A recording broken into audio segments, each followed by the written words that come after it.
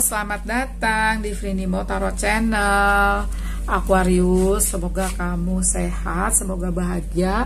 Semoga Tuhan Yang Maha Kuasa memberikan kalian kemudahan di segala sisi hidupmu ya Aquarius. Semoga juga diberi pencerahan setiap langkahmu. Ini adalah tentang yang sedang semesta rancang untukmu. Coba kita lihat apakah itu ya untuk para Aquarius. Sun, Moon, and Rising, terutama Rising ya. Oke. Okay. Kalau mau lebih detail, disarankan ke personal reading, di mana nomor WhatsAppnya banyak lewat ya. Nah, Aquarius, uh, kalau kamu mau tahu uh, Moon and Rising kamu, coba cek aja di Google ya. Uh, nanti kamu tinggal masukin data, terutama sih kalau mau aku kasih saran di jam lahir, tapi biasanya kalau ada yang nggak kalau nggak tahu itu masukin sekitar jam 12 malam kalau nggak salah ya biar kamu nanti bisa lihatnya di sun moon and risingnya ya biar lebih komplit oke okay. oke okay. your guidance is divine divinely guided creating heaven on earth is happening hmm ini yang lagi dirancang semesta untuk para Aquarius surga dunia ya oke okay.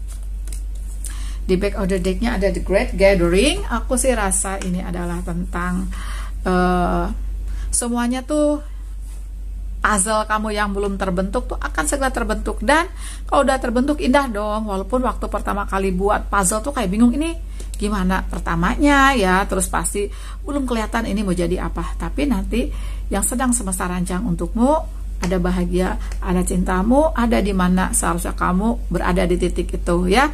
Seperti digambarkan creating heaven on earth, menciptakan surga dunia dan sedang terjadi uh, penciptaan tersebut.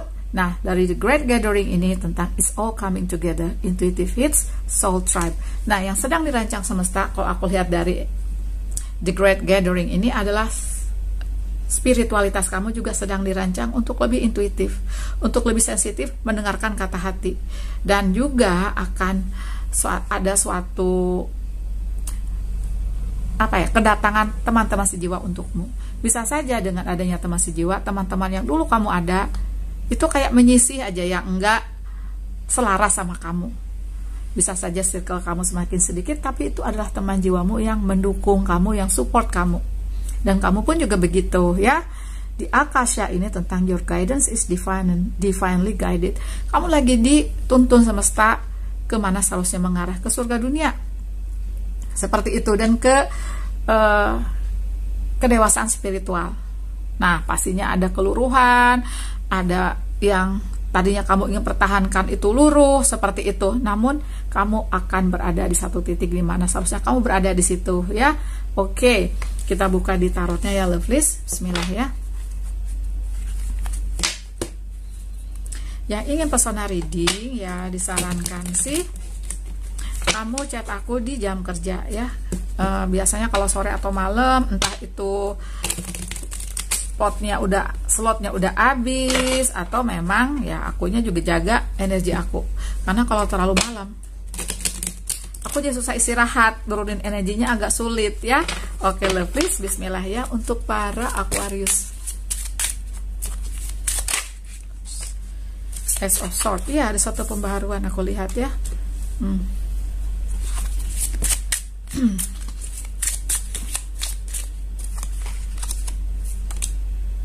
Prince of Swords. Oke. Okay. The Star ya The Star ini aku rasa lebih ke ranah di mana spiritualitas kamu diarahkan di mana ada kedewasaan spiritual di mana kamu lebih sensitif di mana kamu lebih bisa mendengarkan kata hati. Hmm, yes ada temperance.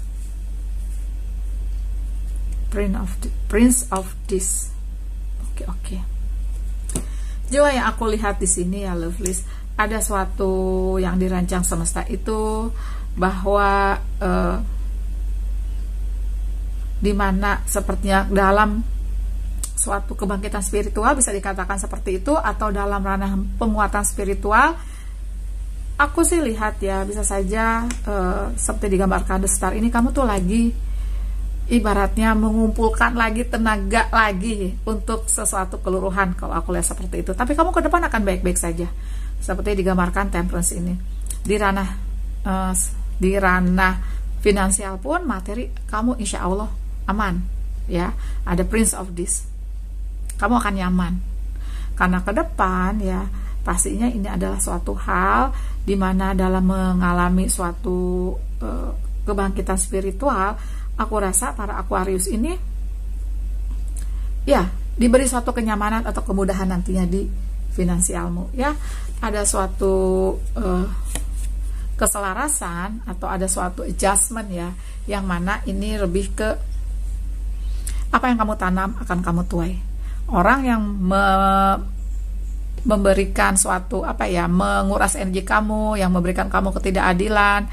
Istilahnya gini kamu akan menerima karma baikmu karmanya mereka itu udah ranahnya Tuhan. Gitu. Nah semesta ini sepertinya ya yang aku lihat di sini Loveless lebih ke uh, Aquarius. Jadi di adjustment ini sama the star ini dan temperance ini ya.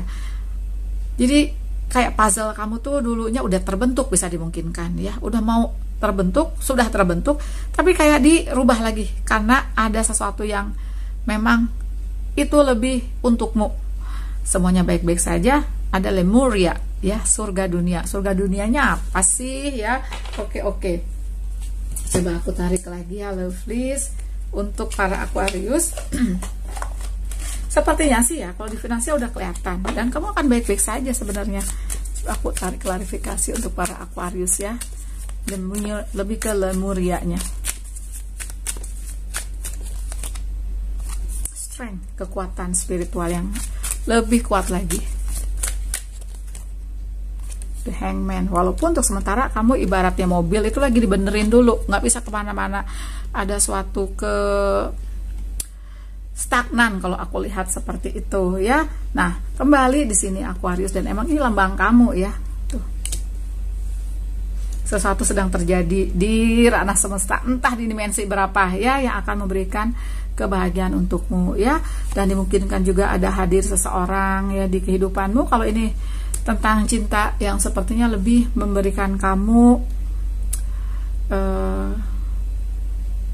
atau bersama nanti menuju ke jalur yang semesta letakkan ke kamu. Gitu bisa dicinta bisa di emang ini teman sejiwamu. Gitu kalau dicinta berarti dimungkinkan bagi kalian yang single soulmate twin flame.